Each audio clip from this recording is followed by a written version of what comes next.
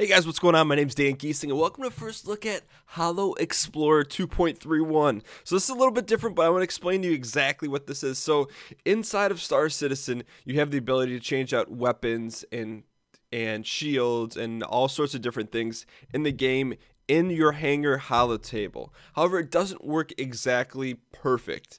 Uh, this is a third-party web-based application that allows you to do just that. So you can go to it by going to holoxplor.space. There'll be a link in the description below, but it just makes the whole process a lot easier. So the first thing you do is you go to the website and then you upload your XML file. Okay, so in case you just got lost there, it really steps it out very simply and very easily for you. The first thing you do is you go to Star Citizen folder, you go to public user database, and then there's only one uh, file in the database folder that you need to upload. So you can either manually upload it or drag and drop. I'm actually going to drag and drop here. And so that gets uploaded, and then here you go. So now this gives you a different interface here and shows you all of the ships that you have unlocked and I'm guessing purchased. I don't fully understand because you know, like for example, I have three Hornets here, even though I only own one. Um, so and and I think that's a, more of an issue with my account than it is with the HoloXPLOR. But let's go ahead and say, for example, let's go ahead and look at our Super Hornet.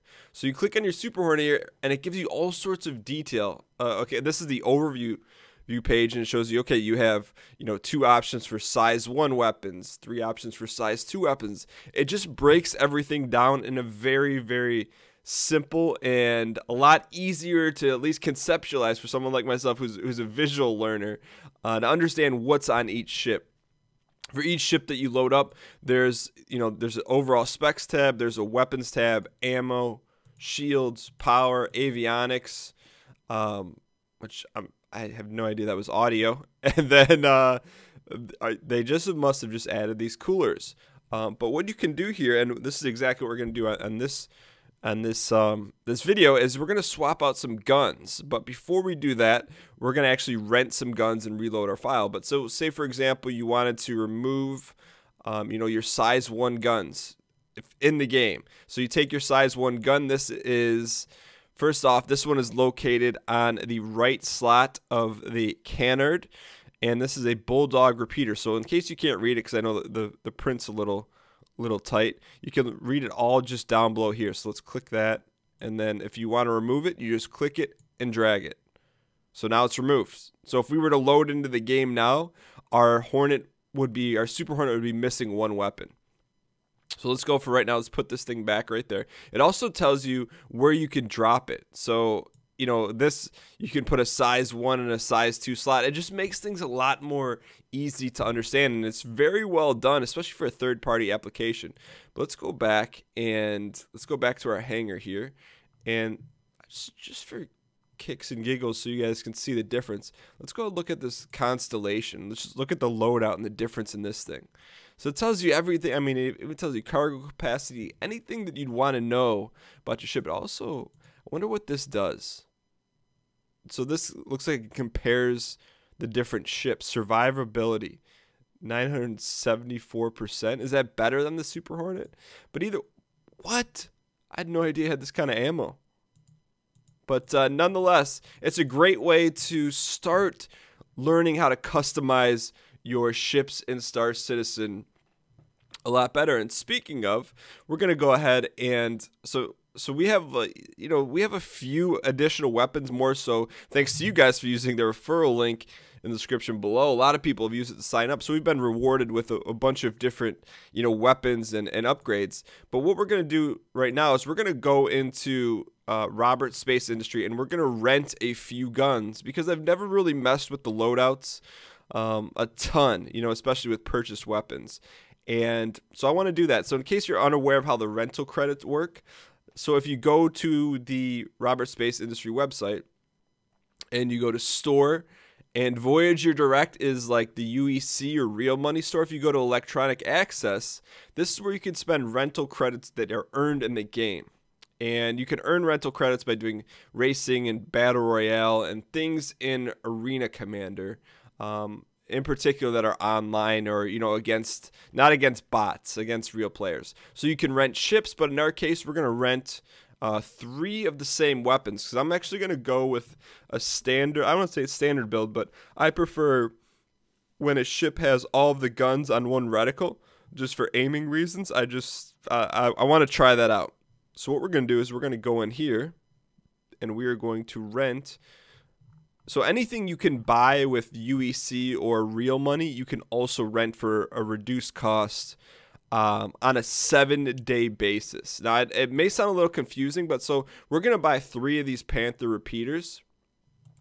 And so we'll get a chance to use these for seven individual 24 hour periods. So it's a lot longer than a week, if that makes sense. So if we don't log, so if we logged in Monday, when we use it Monday, it'll go from Monday. And then if we don't log in Tuesday, Tuesday doesn't count as our day using it. So we're going to go ahead and purchase these. So I went ahead and I rented the three Panther repeaters. So the next step that I did to kind of load this into our HoloXPLOR is this is the in-game Holo table that you could swap out your weapons and things like that. This is this is what's available to you in-game, and it's a little wonky. It looks cool, uh, but it's a little wonky. Um, and it, but here it shows us our different loadouts and things like this. The only reason why I signed into the Holo table was so that after we rented the guns through the RSI website, it would propagate into our new database file. So now that this is set up, I'm gonna I'm gonna alt tab out of Star Citizen and go back to the HoloXPLOR. Alright, so now that the game essentially downloaded my new rental credits or my new guns that I use the rental credits for, I'm going to re-upload the file because it was updated after signing into the server, which sometimes, you know, I forget to do that. But now when we sign in and let's go to our Super Hornet, we should now have the Panther repeaters on the side. There we go, three of them. You can tell there's three of them based on that 3X in the bottom right corner. Now, to me, that was the easy part. Now, the hard part is understanding how I wanted to do this setup. So I'm going to remove our size 1 guns. So I'm going to take off each of the bulldog repeaters. I'm not sure if that's actually let me let me slide back. Let's put our bulldog repeaters back on cuz those are just size 1 guys. So what I want to do is take off these laser cannons. So this is the gimbal mounted slot. It doesn't say if it's left or right. So we'll take that one off and then we're going to take off the other M4A laser cannon. So those are size 2. And then I believe if I take off this canard turret. It allows us to put a size 3 in. I'm not mistaken. Let's just see. So if we take this entire turret off, Hornet S3 canard mount, what happens? Okay, so we lose that. So let's put this S3 mount back on. That wasn't the answer. What's in our size 3? What if we take off these two Badger repeaters here? No? Take off these S3 gimbal mounts? There's a way to do it so we... There we go. Okay. There's so we took off the gimbal mounts, which allows us to, if I'm not mistaken, an S3 gimbal mount is a size 3 gimbal that allows you to put a gimbaled weapon of a lower size on your ship. I don't really care about gimbaled weapons, at least for now, because I want to try this build out. So what I'm going to do here, I'm going to put these two repeaters on, Panthers. So this one will go on the left wing this one will go on the right wing, and there should be one more slot on the. Then we're gonna put ah okay. Then we're gonna put this Panther repeater on the front nose. And we just lost something by doing that. The question is, what did we lose? So unless we're gonna go into this thing with five guns, which I'm okay with, we could try that. I don't know what hap- What's in our turret though? Front slot. This must be our turret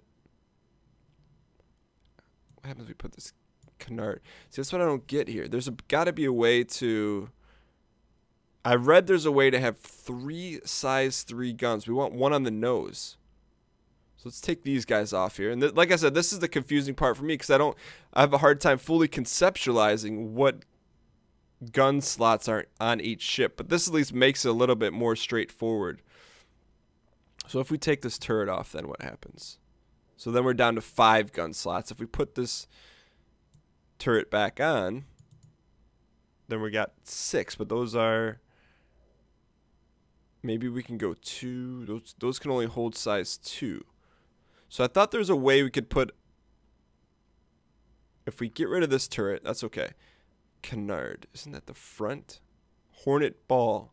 So let's do this. So let's go Panther Repeater in the front slot. We're going to go five weapons. Then we're going to go Badger Repeater and Badger Repeater. Okay, so here's here's what our loadout looks like then. So we still have our missile loadouts.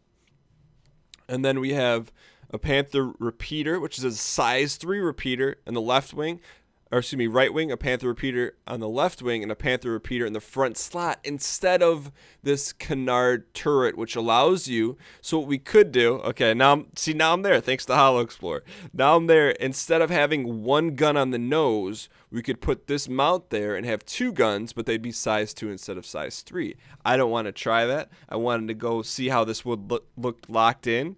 So what we're gonna do here is so now that this is set up how we want it the the final thing you have to do to get uh, to get your holo or your your build out in the game is you click the download button and then you just put that XML file in the same place that you down from. So essentially you're swapping out your database file. So let's go ahead and do that now.